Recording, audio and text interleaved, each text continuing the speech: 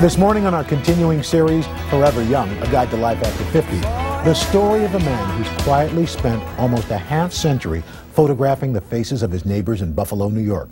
His name is Milton Rogovin, and as Bob Dotson reports, at 93, Rogovin has finally earned the kind of attention he deserves.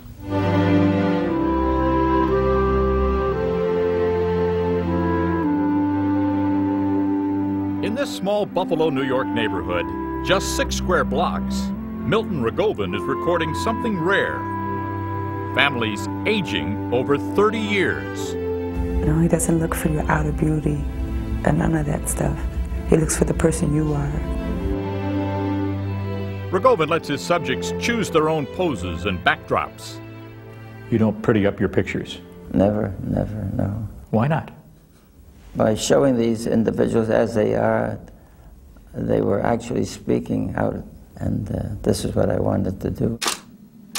Ever since his father lost his dry goods store in the Great Depression of the 1930s and died of a broken heart shortly thereafter, he has been drawn to the hard-working, hard luck, and just plain hardened of society.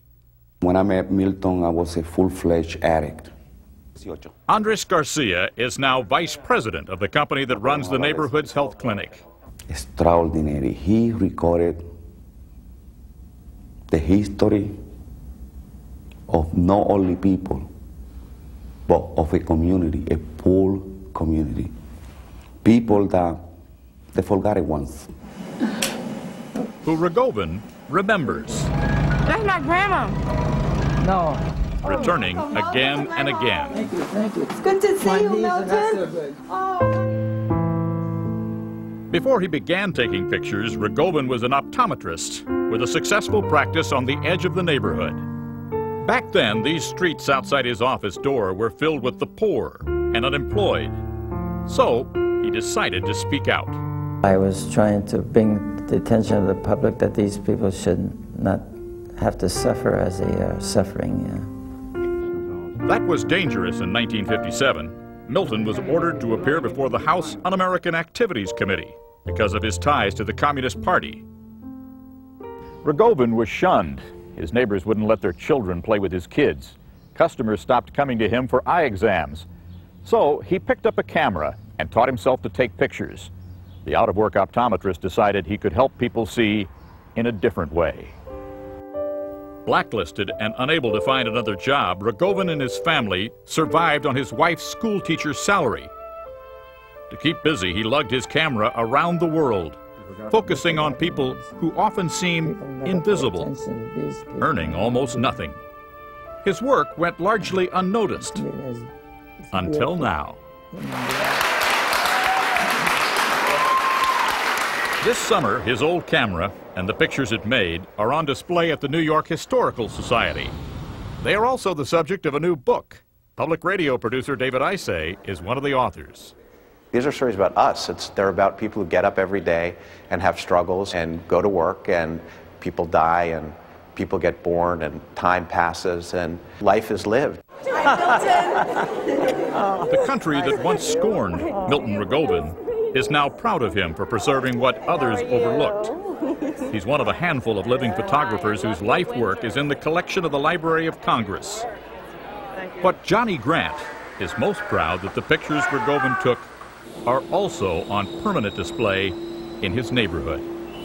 When I'm dead and gone, my son, maybe his children will be able to see this and realize we weren't just an ink spot on the wall. And we're important too, even though we may not live under the lights and the cameras all the time. Have you got a favorite picture? I mean, what, 2,000 portraits you've got, right? That's just like you ask a mother which one is her favorite child. Oh, where, where, where are you? That one. Isn't that that one and that one? That's my son. How old is he now? 18. Milton Rogovin grew old watching this neighborhood grow up, sharing the yearbook of their lives. Today, he is 93. I'm very sorry what happened to you, buddy. His wife and longtime collaborator, Anne, died of brain cancer earlier this month. But he is not alone because his friends, the forgotten ones, have not forgotten him. You just be strong, okay? Sure. Thank Everybody will love you, okay? Thank you. For today, Bob Dotson, NBC News, Buffalo, New York. Milton Rogovin's photographs are on display at the New York Historical Society in New York City until October 12th. And we're back right after these messages.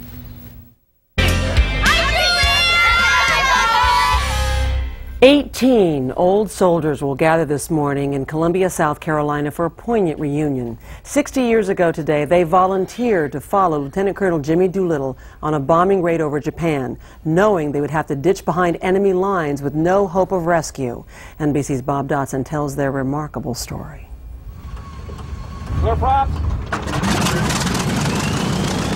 Memory is too fragile a thread from which to hang history. Most of us no longer recall or have ever heard of the Doolittle raid. But it changed our world as surely as 9 11 or Pearl Harbor. The raid, commanded by Jimmy Doolittle, On this morning, 60 years ago, 80 volunteers were about to do the unthinkable. Everybody had said they'd go, and uh, I guess I was too big a card to back out. Nearing 90, Jake DeShazer is one of the few who can still tell the story firsthand. On April 18, 1942, DeShazer was an Army corporal, standing on the deck of the aircraft carrier Hornet, desperately trying to keep his bomber from sliding into the sea. And a big wave came up, and the front end of that airplane went way up there, and the tail end went down. There's nothing to stop it. Sailors came running with ropes. One of them, next to DeShazer, backed into a spinning propeller and lost his arm. He looked up at me and he said, give 'em hell for me. The men were setting out on a secret mission to bomb Japan and give America its first victory of World War II. They said uh, over the interphone, if you can't get your motor started, we'll shove 'em off in the ocean. No one had ever launched a bomber in so short a distance 450 feet. My pilot, uh, Bill Farrow, said, um, Jake, do, can you row a boat? The planes soared over Japan 500 feet above the ground. DeShazer, a bombardier, dropped his load near Nagoya, then headed toward the coast of Asia. The bomber flew till it ran out of fuel, and then, one by one, the crew bailed out. DeShazer landed on a Chinese graveyard in Japanese-held territory. He and seven other flyers were captured, called war criminals, and sentenced to die. Three prisoners were killed, but DeShazer was spared. I don't know why I wasn't executed. Instead, DeShazer spent 37 months in solitary confinement, most of it sitting in a 5 by 9 foot cell with only a small window above him. In the gloom of that pit, he was given a Bible and read a line that changed his life. Is love your enemy? Yeah, I was. Isn't that easier said than done when you're being held in a pit? I thought, boy, uh, Jesus don't expect to love those real mean ones. But uh, it didn't fit because I'd memorized love your enemy and pray for those that persecute you. He did more than pray. After the war, DeShazer astounded his former comrades by going back to Japan as a minister.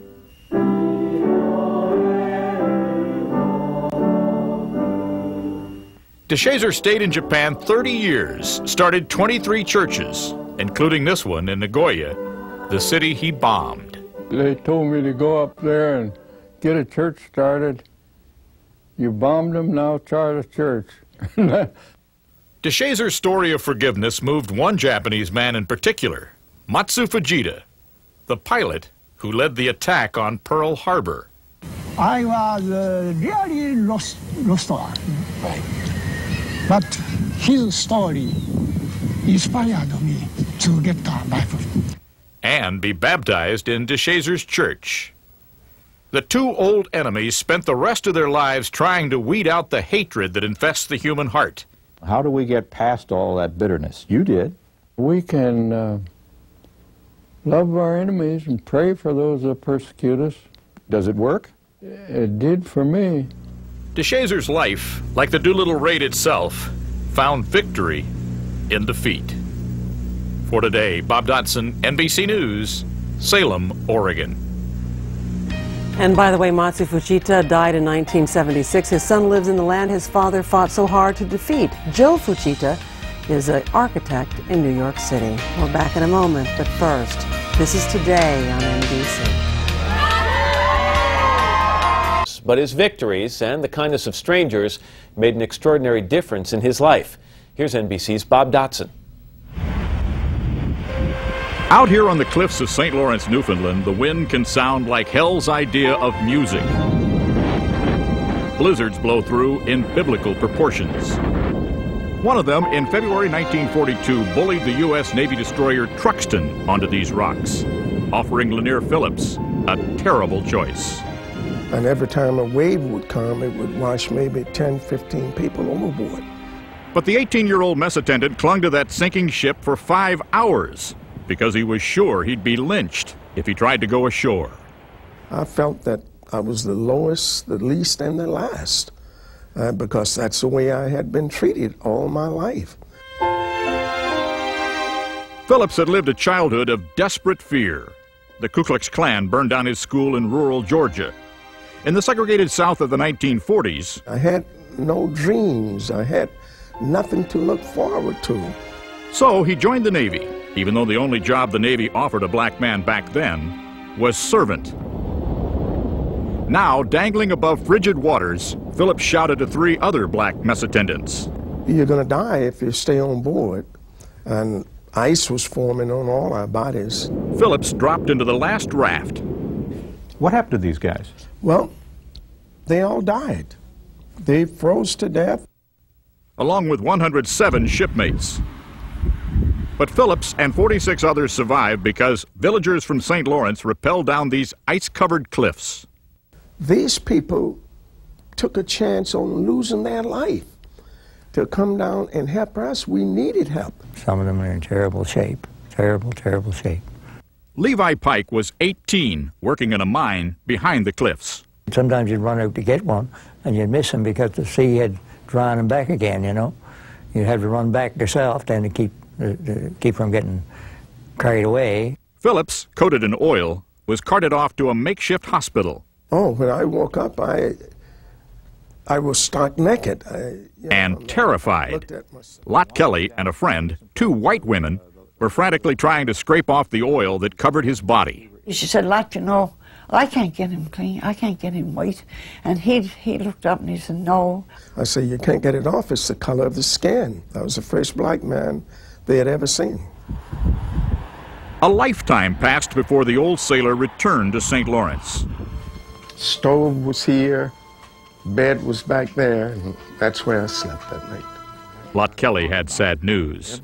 Her friend, who had stayed up all night heating stones to keep him warm, was dead. I didn't even get a chance to thank her for her hospitality. Or tell her how he'd lived, the life she saved. Phillips retired from the Navy after 20 years, but not the sea. He worked for the explorer Jacques Cousteau, helped locate a lost nuclear bomb, later faced down bigots with guns while marching for civil rights. That plunge into these icy waters off the coast of Newfoundland left him fearless. Phillips tells young sailors and soldiers to search for caring in unexpected places. Something came over me. It was etched in my mind that all white people were not racist. Hey, thank you for sharing your story. I really appreciate that. At 79, he believes his life really began in St. Lawrence. The town's mine is now closed. Half the people are gone. But Phillips did something for the 1,600 who remain. Built a new playground with an old sailor's name. When the Truxtun collided with the cliffs and rocks, in St. Lawrence, Newfoundland, I collided with my destiny. The man who desperately needed a hand now offered his. These people, they didn't just save my life, that's a minor part of it. They changed it. Forever, with a simple act of kindness. For today, Bob Dotson, NBC News, St. Lawrence, Newfoundland. 746 on a Thursday morning. We're back right after these messages. In the moments after four jetliners crashed on September 11th, all airspace over the United States was shut down, diverting thousands of flights around the world. NBC's Bob Dotson now on the kindness of strangers in one community who took in hundreds of passengers unable to return home. Life in Newfoundland can be as hard as the weather. Temperatures dipping 20 below. Unemployment in some villages hovering as high as 50 percent. But this remote island in the North Atlantic, Canada's poorest province, has set a mark for giving worthy of the history books. It began last September 11th when pilots were told to put their planes on the ground as soon as possible. Reach 8901 Yankee, Roger. 38 jets with more than 6,000 passengers ended up in Gander, Newfoundland. Two American Airlines planes were hijacked. Both were crashed into the two World Trade Center buildings and were destroyed. Both buildings are rubble. Yes, Rubble? thousands are dead and. School bus drivers were on strike back then, but they left their picket lines and worked 24 hours straight to take the stranded travelers to nearby towns. You're all going to the same destination? You're going to the same place in Lewisporte, so you'll... Uh... Passengers thought they were being dropped off at the end of the earth, but they couldn't have been made to feel more at home. Churches took in those who could not find hotel rooms. Travelers, anxious to know about events,